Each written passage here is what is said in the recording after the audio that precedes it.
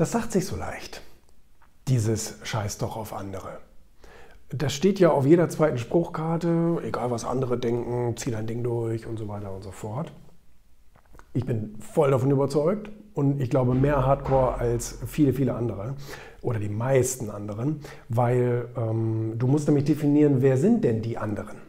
Ich glaube, den meisten Leuten ist es nicht wichtig, was irgendwelche wildfremden Leute auf Social Media oder im Internet äh, sagen oder keine Ahnung was.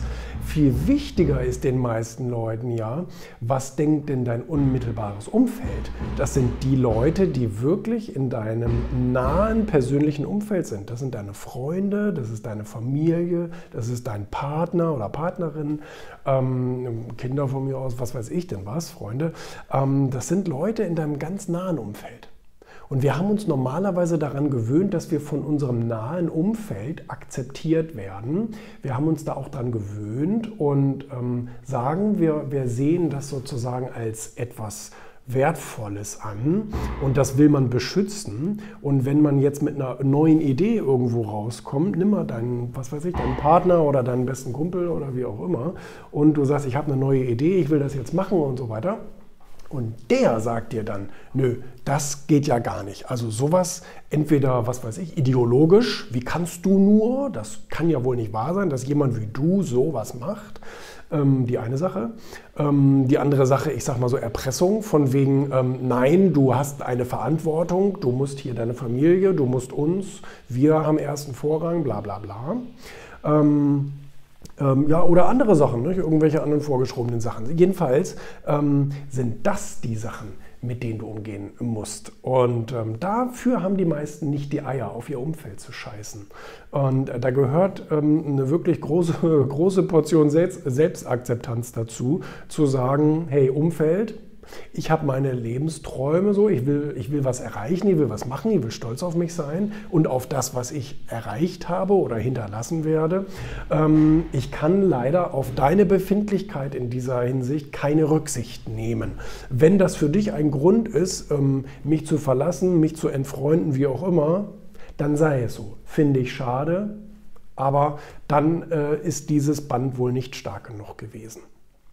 Und da entscheidet sich dann natürlich auch so ein bisschen, wer ist eigentlich wirklich, ähm, wer ist eigentlich wirklich in dich investiert oder wer oder wer will nur von der Zeit profitieren, solange sie einfach und angenehm ist. Ne, das ist ja nun leider auch ein Vorwurf, den man zu Recht machen kann, ne, dass viele Menschen eben nur in guten Zeiten, aber nicht in schlechten Zeiten mit jemandem gehen sie diese Laura Müller. Blödes Beispiel jetzt.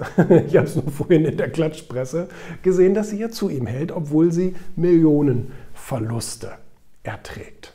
Aber muss man ihr ja dann sicherlich zugute halten, wenn das dann auch alles ernst gemeint ist, ähm, dass sie äh, auch die schlechten Zeiten, weil jetzt der gute Mann was sagt, was nun gar keinem gefallen hat ähm, oder wenigen gefallen hat, ähm, dass man da dann trotzdem zu ihm hält zu seinem Partner hält. Und ähm, das ist ein starkes Band, muss man sagen. Wie gesagt, wir wissen nicht, es ist nicht aller Tage Abend, aber äh, Status quo ähm, finde ich gut. Braucht man Eier für. Ne?